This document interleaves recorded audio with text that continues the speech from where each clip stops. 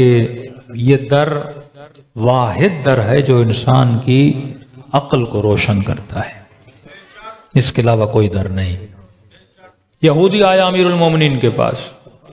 कहने लगा, अली, मैं अल्लाह को मानूं, लेकिन क्या करूँ? मुझे कुरान में तजाद नज़र आता है। पूरा कुरान मैंने पढ़ा। तीन आयतें ऐसी हैं जिनमें तजाद है। ये और तजाद हो, ये कैसे मुमकिन है? ये कलाम अल्लाह का कलाम हो। इमाम ने कहा, पढ़। का सबको सुनाया, किसी ने जवाब नहीं दिया। इमाम ने कहा, आज सही दरवाजे पर आया है। ऐसे रसूल ने नहीं कहा कि मैं दो वजनी भारी चीज़ें छोड़ के जा रहा हूँ। एक अपनी किताब है, दूसरा आले रसूल है। इल्म मिलेगा तो अहलबैत से। खजाने इल्म के इनके दर से। वही कहकर गए, मैं शहर इल्म हूँ और अली उसका क्या है? दरवाज़ा है, फिर भी बंदा दूसरे दरवाजों पे भटकता रहे। मतलब इसने अपनी अक्ल जो हुज्जत इलाही है उसे इस्तेमाल नहीं किया। ये ताब हवा, वो हवस नफ्स है, ना के ताब अक्ल है। इमाम ने कहा, सुना कौन सी आयत? है काली एक आयत में खुदा ये कहता है, बंदे की रूह मैं निकालता हूँ। दूसरी आयत में कहता है कि बंदे की रूह मलकुल मौत निकालता है। तीसरी आयत में कहता है कि बंदे की रूह मलाइक निकालते हैं। कभी एक बात करे, कभी कहते मलाइक, कभी मलकुल मौत, कभी कहते मैं निकालता हूँ, ये तजाद है। एक ही हो रू निकालने वाला। इमाम ने मिसाल लेके समझाया, मैं थोड़ा उस मिसाल को चेंज करके आपको समझाना चाहता हूँ। मसलन सुतरीवट में ये ज़मीन है जहाँ पे आपने इमाम बारगाह बनाया। किसी ने ये ज़मीन वक्फ की होगी, किसी की होगी। कोई खैर वाला बंदा होगा, जिसने बोला होगा भाई ज़मीन पर वक्फ करता हूँ इमाम बारगाह के लिए, ताकि यहाँ पे मोहम्मद और आले मोहम्मद का ज़िक्र हो। ठीक है? एक ने वक्फ की। दूसरा बंदा वो है, जिसने इस ज़मीन पे खर्च किया होगा। एक बंदे ने ज़मीन दी, दूसरे ने पैसे दिए। कि भाई अब बनाओ यहाँ पे। उसका पैसा लगा। इमाम बार का खड़ा हो गया। तीसरा वो है जिसकी ज़मीन नहीं, जिसने पैसा भी नहीं दिया। लेकिन उसे यह बोला गया कि फला साहब पैसा दे रहा है, आप डिज़ाइन बनाओ। इंजीनियर होगा कि नक्शा कैसा हो, इमाम बारगा का, ज़रिए कहाँ रखी जाए, मेंबर कहाँ हो, हॉल कैसा हो, कमरे कैसे हो, उसने क्या किया? डिज़ाइन किया। उसने मैप बना के दिया। ये मैप है तुम्हारी इमाम बारगा का। चौथा वो बंदा है जिसने ज़मीन भी नहीं दी, पैसे भी नहीं दिए, नक्शा भी नहीं दिया। वो मजदूर है। जिसने ईंटें रख रख के इमाम बारगाह की दीवारों को खड़ा किया है। ये चार मिसालें समझ में आ गई। ज़मीन देने वाला, पैसा लगाने वाला, नक्शा बनाने वाला और वो मजदूर जिसने ईंटें लगा लगा कर, अब दस मजदूर, पंद्रह मजदूर जितने भी थे, उन्होंने इमाम बारगाह को खड़ा कर दिया। अब कभी मजदूर इस गली से गुजरेगा, कहेगा, मौलाना, ये इमाम बारगाह मैंने बनाई है। ऐसा ही बोलेगा इमाम बारगाह, किसने बनाई है? मैंने बनाई है। कल इंजीनियर आएगा, जिसने नक्शा दिया था कि इमाम बारगाह, मैंने बनाई है। जिसने पैसा लगाया, वो भी बोलेगा, इमाम बारगाह, मैंने बनाई है। जिसने ज़मीन दी, वो भी बोलेगा, इमाम बारगाह, किसकी है? ये मेरी ये मैंने वक्फ की है। मुला फरमाते हैं सभी यही बोलेंगे कि हमने बनाई है।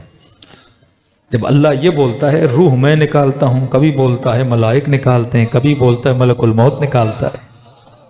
का रूह निकलने के प्रोसेस में सारे इन्वॉल्व हैं। लेकिन इजाज़त कौन दे रहा है? परवरदिगार आलम दे रहा है।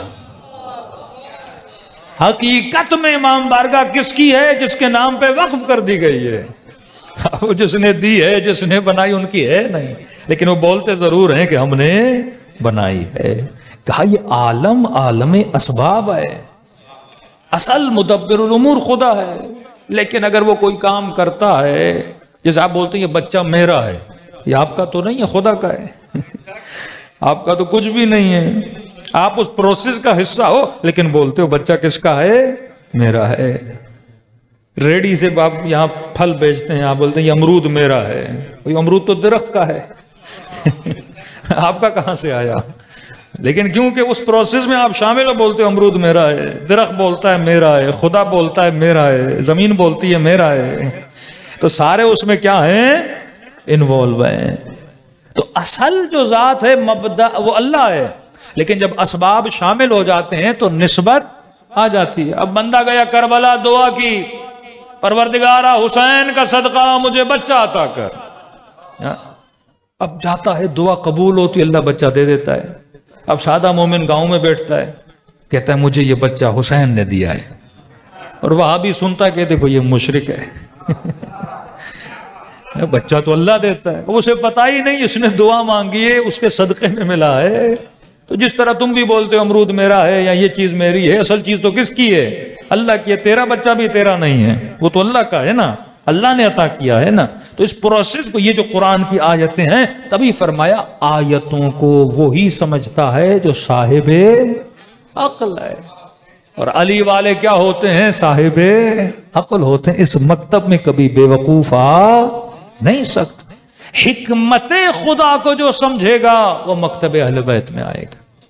कुरान किताब हिकमत है। वाह तबिरबाब तिबियान शय। अब मुसलमान समझता ये किताब किस्सों की किताब है, कहानियों की किताब है। भाई, अल्लाह को मज़ा आता है कहानियाँ सुनाने में? एक लाख एक कम चौबीस हज़ार नबी सुनाए सबकी कहानियाँ। कुरान कितनी जिल्दों में बन जाता, लाइब्रेरियाँ भर जाती, कुरान इतने ज़्यादा हो जाते। हैं एक लाख एक कम चौबीस हज़ार नबियों में से चुन चुन के कुछ किस्से सुनाए। अचानक कुरान खोलोगे? मूसा का किस्सा। अल्लाह कहता है, मूसा जा रहा था, तेज बारिश हो रही थी, कीचड़ थी। आधे पाँव मूसा के कीचड़ में फंसे हुए, साथ में मूसा की बीवी साथ है। बीवी हामिला है प्रेग्नेंट है, बच्चा होने वाला है। मूसा परेशान, करें तो क्या करें? शदीद बारिश, कीचड़, पानी, अंधेरा, कोई चीज़ नज़र नहीं आ रही। अचानक खुदा ने कहा, मूसा को एक रोशनी नज़र आई। दौड़े दौड़े रोशनी की तरफ़ आए। आवाज़ आई, फकला नालैक इन कफिलवा दिल मुकदस मूसा जूतियाँ उतार, तू वादी मुकदस में है। कहा हमने नबूवत का इबला किया कि मूसा, आज के बाद तू नबी है। नबूवत का ऐलान कर। खुद आगे दूसरी बातें फिर करने लगा। पढ़ने वाला परेशान खुदा, मूसा की बीवी का क्या हुआ? कीचड़, पानी, अंधेरा, बीवी प्रेग्नेंट, बीवी का क्या हुआ? बच्चा बेटी थी लड़का था लड़की थी। नाम क्या रखा मूसा ने? अल्लाह की आवाज़ आएगी मैं कहानियाँ नहीं सुना रहा। हाँ, ये इबरत की किताब है। देखो नबी को किस हाल में नबूवत का ऐलान हुआ ताकि ये मंजर तुझे याद रहे कि मैंने किस आलम में उसे नबी बनाया था। ये किससे नहीं है ये इबरत है। कभी कहता है, मैंने मरियम को कहा, जाओ मशरक की तरफ़। मैंने मूसा को कहा, जाओ मगरब की तरफ़। ये कहने की ज़रूरत क्या है? मशरक, मगरब। कल इंशाल्लाह मजलिस में इन सब में फ़जाइल अहल बैत के नुक्ते छुपे हुए हैं। ये किताब इबरत की किताब है। अल्लाह या रसूल अल्लाह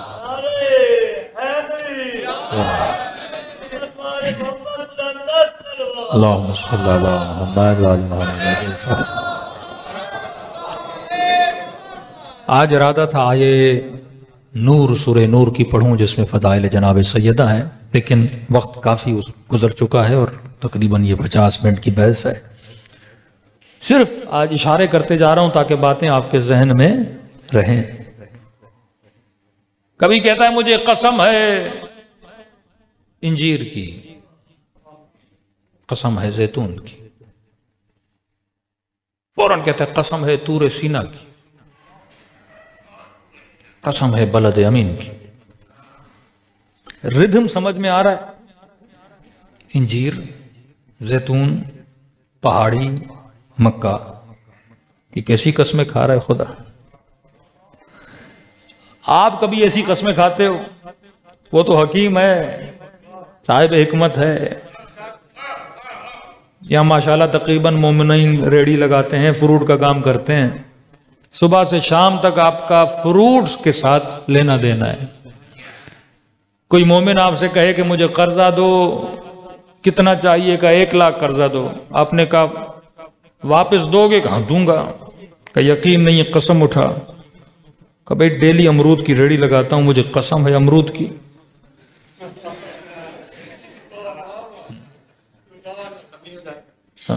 फिर सुबह चने लगाता हूँ। कसम है मुझे अपने चनों की।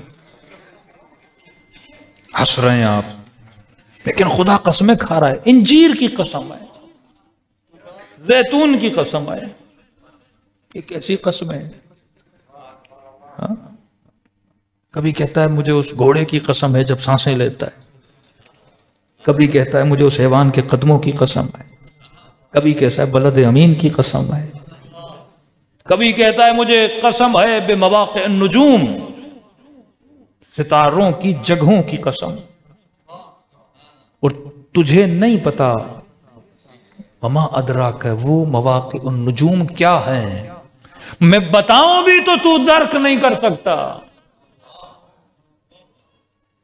कभी कहता है कि लैलतुल कदर खैरुम मिन अल्फ शहर अमा अदरा कमा लैलतुल कद्र? तुझे नहीं पता कि लैलतुल कद्र है क्या? हाँ? परवरदिगारा, एक रात ही तो है। लैला कद्र कद्र की रात। कहता, तुझे नहीं पता ये क्या है? तुझे नहीं पता मवाक़ नजूम क्या है? तुझे नहीं पता नूर की हकीकत क्या है? ये किताब है साहिबान हिकमत के लिए। हम इसी तरह पढ़ते हैं, पर इस पे गौर व फ़िक्र नहीं करते। किस हदीस में, किस रिवायत में है कि भाई रमज़ान का महीना है? दस खत्मे दो कुरान के, कहाँ लिखा हुआ है? कहते, मौलाना, मैंने इस रमज़ान में तीन खत्मे दिए। माशाल्लाह, भाई अच्छी बात है, सवाब का काम है, लेकिन लिखा कहाँ है? मैंने दस खत्मे दिए, कुरान पढ़ना बहुत सवाब है। अल्लाह अजर देता है एक एक लफ्ज के पढ़ने से अजर देता है। लेकिन सिर्फ़ पढ़ाई तुझे किसी मकाम तक नहीं पहुँचा सकती। पूरे महीने में ज़ोर होता है, मैं तीन खत्मे पढ़ूं, चार खत्मे पढ़ूं। जैसे मोटरवे पे स्पीड से गाड़ी लगा के इसने जल्दी जन्नत तक पहुँचना है। एक ही सूर्य हमद का डेली आधी आयत पढ़ो, पर जितने घंटे पढ़ते हो ना, उतने घंटे उस आयत में गौर व फ़िक्र करो। समझो कि मसलन अर रहमान अर रहीम ये रहमान क्या है, ये रहीम क्या है? रब्बिल आलमीन क्या है, सरात मुस्तकीम क्या है गैर मकजूब क्या है वलालीन क्या है? ये कुरान है, ये मैप है ज़िंदगी का। अलिफ्लाम मीम क्या है, किताब लारैब क्या है, युमिनून बिल गैब क्या है, युकिनून क्या है? खत्म अल्लाह वाला कुलूब हम कौन लोग हैं जिनके दिलों पे मोहर लगा दी जाती है? कौन है जो गैब पे ईमान रखते हैं? कौन है जो मंजिल यकीन पे फायज हो जाते हैं? हज़ारों सैकड़ों हदीसें हैं जो अहले बैत ने इन आयात की जेल में बताई है कि बंदा डेली अगर दो लफ्ज भी कुरान के पढ़े, पर उस पर क्या करे? गौर व फ़िक्र करे। आप महसूस करेंगे, आपका इल्मी वज़न भारी हो रहा है, अंदर एक लज्जत आ रही है, रूह को गजा मिलेगी। अब जब समझ के कुरान पढ़ोगे फिर वो जो सवाब मिलेगा। क्यों कहा कि दो रकअत नमाज़ अगर कोई खलूस के साथ पढ़े, खुदा उस पर जन्नत को क्या करता है? वाजिब करता है। छोटी सी मिसाल दूँ, खुदा बंदे के अमल को नहीं देखता, बंदे के अमल की नीयत को देखता है। ये नहीं देखता आपने कितना कुरान पढ़ा, कितनी मजलिसें पढ़ी, कितनी मजलिसें सुनी, कितनी देर मातम किया, कितनी देर नुहा पढ़ा कितनी बार करबला गए, कितनी बार हज पर गए, ये नहीं देखता। नीयत को देखता है। छोटी सी मिसाल है, रसूल खुदा अपने असाब के साथ जा रहे हैं। प्यास लगी, नहर सामने थी। सबने अपनी सवारियों को छोड़ा, ऊँटों वालों ने ऊँटों को छोड़ा, घोड़ों को छोड़ा, खच्चरों को छोड़ा, गए पानी पीने। एक साहबी ने देखा, बेचारे सारे गए, किसी का खच्चर इधर भाग रहा है, किसी का घोड़ा इधर भाग रहा है, उसने कहा, सारे हैवान गुम ना हो जाए। उसने ज़मीन में सहरा के बीच में कीला लगाया।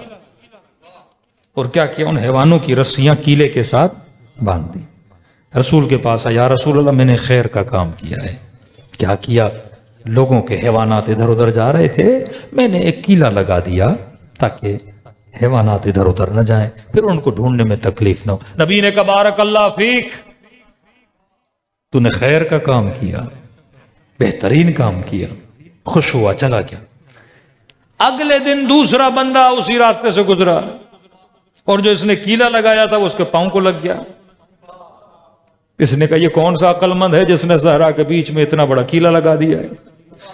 चलते फिरते लोगों को तकलीफ़ होगी, उसने कीला वहीं से उखाड़ दिया और फेंक दिया।